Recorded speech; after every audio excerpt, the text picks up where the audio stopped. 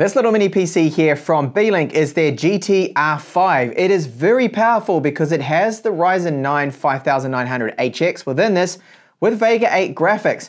Now this configuration they sent out to me has 32 gigabytes of storage with 500 gigabytes of PCIe fast storage there too as well. However, you can expand upon the storage because there's an empty SATA 3 M.2 slot and room for a 2.5 inch drive, even though the PC is very small. Has a top fingerprint reader. It can run three display outs, which is very good. So 4K 60 and even a single display HDMI 4K 120 Hz. I have tested that is also working. It has two 2.5 gigabit LAN ports on this and Wi-Fi 6E. And no, this RTX 3080 Ti I have here isn't just for show. I'm going to test it out and see if I can get it to work with the Beelink GTR5 here, PCIe to PCIe M.2. Included in the box, you'll find a user manual. Now that's in various languages. We have a power supply cable, short HDMI cable, that's handy if you're going to be VESA mounting it, a normal sized HDMI cable, the power supply, which is 90 watts, and then some screws here for a 2.5 inch SATA drive and the mount. This mini PC has a typical build quality that I've come to know with Beelink, which is very good. So we've got metal around the outside, 3.5mm headphone jack with mic support. This is USB 3.1 Gen 2, USB 3.1. Clear the CMOS, so you might need this because the BIOS is completely unlocked. If you do happen to mess up any of the settings and it won't boot, that's what it's there for. Then dual array microphones on the mini PC itself is quite handy. And then on the back here, that's the exit vents for the fan inside, the fans that are in there, that's going to be blowing out the hot air of this powerful Ryzen 9 5900HX with its 8 cores, 16 threads. So this is power in. And we've got two displays here that, that can support. So that is 4K 60 on both of these, HDMI 2.0 and then DisplayPort 1.4 with them. So another two USB 3.1s, two USB 2s there, which is good for mouse and keyboard, of course. And then we've got two 2.5 gigabit LANs there, which is very good because not only are they fast, but we've got two of them. Either side, we do have these vents there, so that's just to help with the airflow and the cooling. We have plastic along the top here, fingerprint reader. This is the mesh over the top, so intake for the fans, which then blow out the back. And the underside, there's just some notes here, which is quite good. That tells you how to get into the BIOS. And here we do have the two mounting points for the VESA mount bracket, which is included in the box. So there are rubber feet here, and then these four screws, which I'll remove to show the internals. Then to get the back off, there's a little tab here, and you simply just need to pull up on that, and this will come up. But you do have to be careful because we have our SATA mount there. So there's a cable that's connected on this side that you do have to be careful of. So Crucial RAM, Kingston Drive, and the wireless card Realtek. The only thing I don't like here is those antennas have been glued on. I do like it when companies just put that adhesive plastic over the top to stop the wireless antennas coming loose in transit. In typical Beelink fashion, the BIOS is completely unlocked, so we've got a lot of advanced options that you can tweak.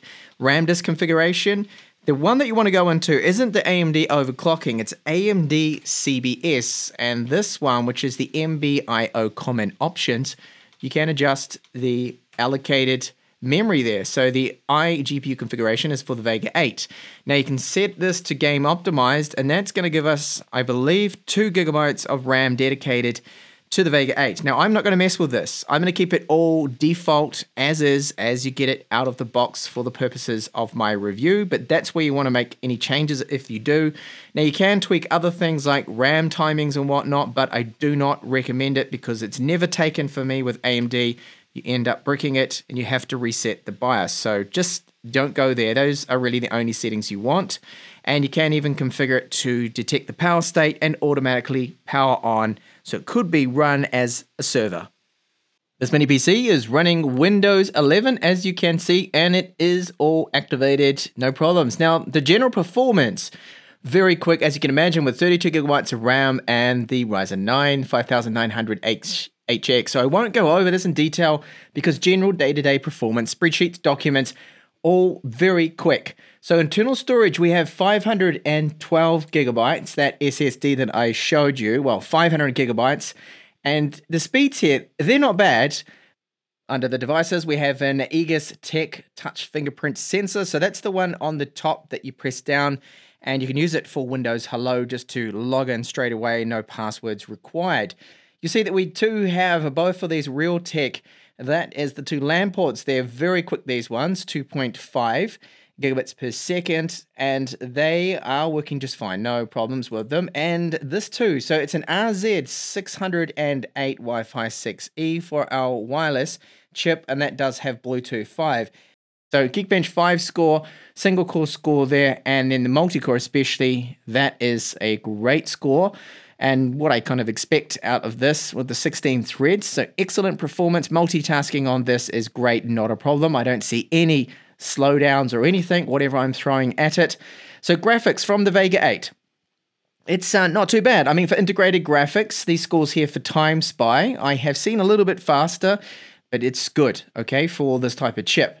And then our Firestrike score, getting almost 4,000 points, is what I would expect, yes, out of Vega 8 here, and running this RAM and this configuration with the Ryzen 9 Cinebench R23, we do get a very respectable score considering how small this mini PC is. So over 11,000 points here is excellent and nearing 1500 for the single core score.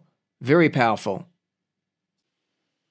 What is also excellent is its playback support here. So for HEVC VP9, and I have a test file here which is 10 bit, this is 4K, 140 megabits per second and this is not a problem at all for the Vega 8 graphics. No drop frames here, that's very smooth. That of course is 4K 30, so I will step it up now to a 4K 60 file. And again, no issues playing this 4K 60 Sony Swordsmith file. That is not dropping any frames. So it is an absolute beast really when it comes to media playback video files. Anything you throw at it, it will be able to handle just fine. 4K 60 frames per second streaming with YouTube here. This is in Chrome and I will enable these stats for nerds. So it just dropped a couple of frames at the start and that's probably because of my internet connection which is terrible. But now as it is playing, there is no problem here with it at all. Oh, it's dropping a few here. Okay, it's just a bit random. I think that's my internet why this is happening, but normally it is flawless. But Chrome could be the issue here. I've noticed that with Edge, it didn't seem to drop any frames at all.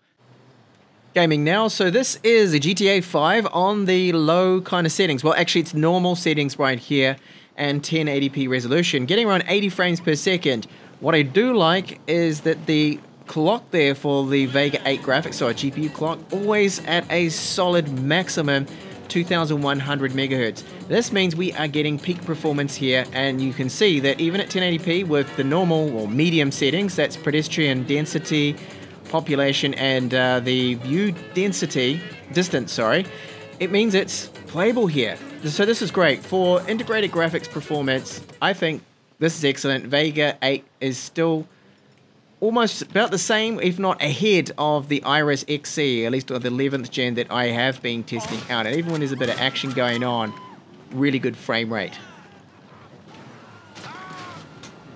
Cyberpunk 2077. This is a very demanding game. I have it set to 720p, lowest possible settings, and the frame rate in the lower 30s here, I don't think is too bad. Now, there are not a lot of NPCs around, Just randomly shoot at people and see that, yes, doing so and with more action, it will drop down more the frame rate, but it's not bad at all. Vega 8 is holding up well here, and look at that clock again. The GPU clock is stable at the 2100 megahertz. It's not budging, it's not throttling down at all, and the temperatures when gaming are normally in the mid 70s. Another positive. And yes, there is a lot of tearing around as you can see. I probably need to turn on VSync. Thermals and power consumption. So I've seen 76.8 watts is the highest that it has pulled, and the lowest has been 6 watts exactly. But right now, I do have a couple of applications open and a USB drive plugged in. It's using 13, 14, and sometimes 12 watts, which is fine for a mini PC like this. So the thermals are good. There is no thermal throttling. It gets up to 85 degrees, 86, and that's it. All right, it's not going to go over that. However, the fans, that is my only real complaint of this mini PC. The fans, when it is under load, can get a little loud and they're on all the time.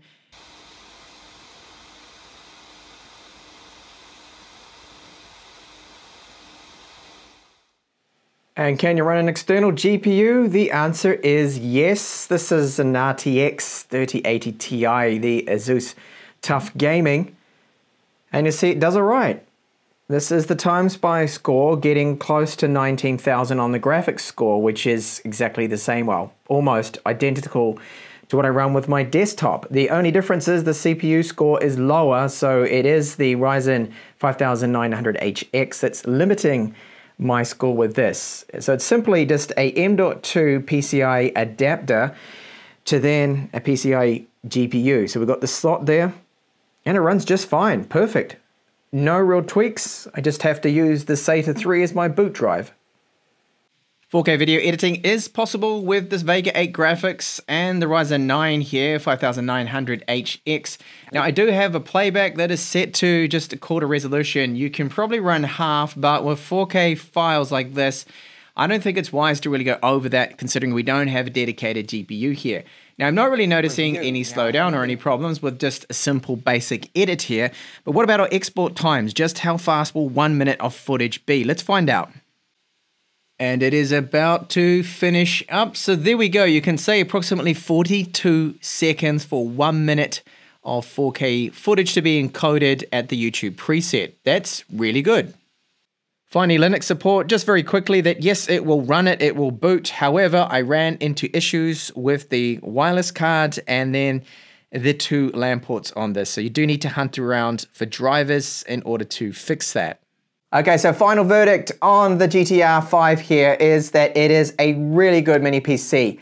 Ample power there thanks to the 8 cores, 16 threads, Vega 8 graphics for integrated graphics does perform really well and it does not throttle down. There's no throttling whatsoever with this. Build quality is excellent. I really like the fact that Beelink do give us an unlocked BIOS.